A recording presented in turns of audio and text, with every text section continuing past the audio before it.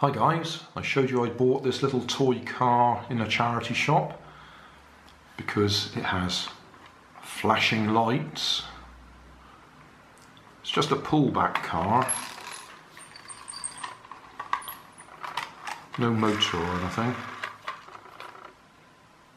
I wonder if it's got a speaker in there.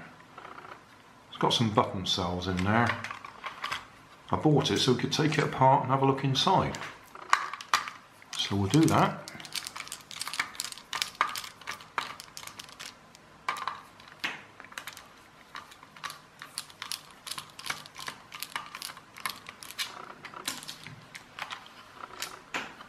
Says Marks and Spencer's PLC on the label.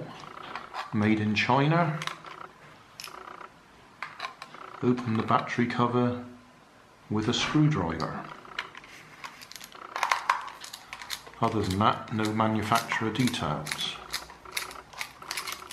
It says 206 on the front, so I guess it's supposed to be a Peugeot 206. And there we are, a nice selection of LEDs.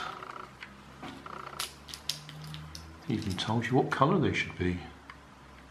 Blue, spelt B-L-U-S-E.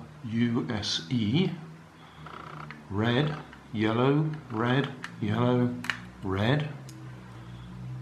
And then we've got L plus and L minus to tell you which way around to put the LEDs. And red up there. Let's have a look, see if there's a speaker in there.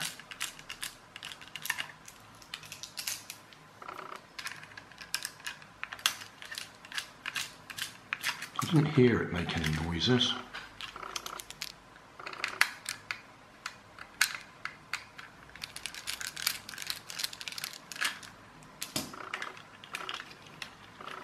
That's our circuit on board, or cob as they call it.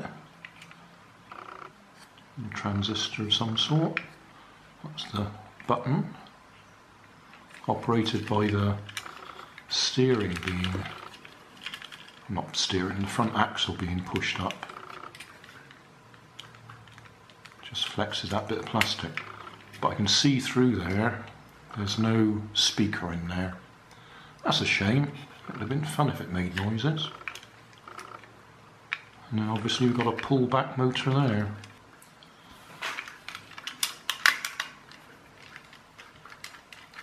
You don't usually have this many screws in one of these little cheap cars. Pull back motor, little battery compartment and front axle.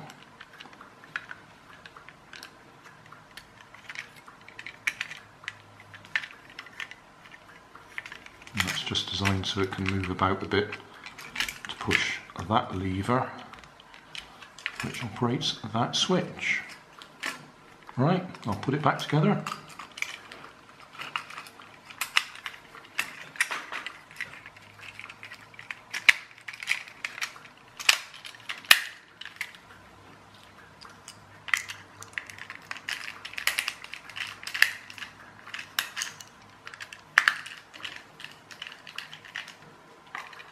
And there we go.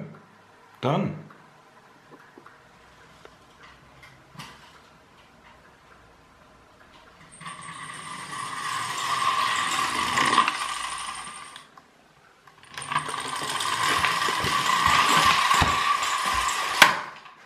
Well, it certainly goes all right.